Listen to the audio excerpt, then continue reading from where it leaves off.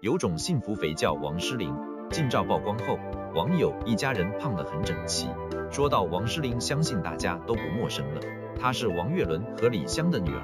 因为《爸爸去哪儿》圈粉无数，王诗龄小时候长得像年画娃娃一般，小圆脸加上小肚腩，肉乎乎的，看上去十分可爱。近日，王诗龄的近照曝光，是她在爸爸妈妈陪伴下的开工照。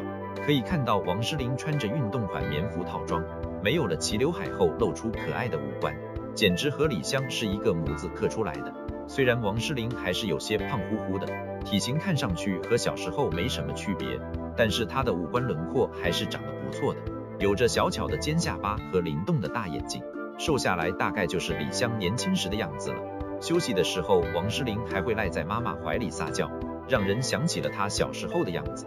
瘦有瘦的好看，胖也可以胖的自信，美是多种多样的。看着他们一家人站在一起的样子，有网友感慨，一家人胖的整整齐齐的，还是很可爱的。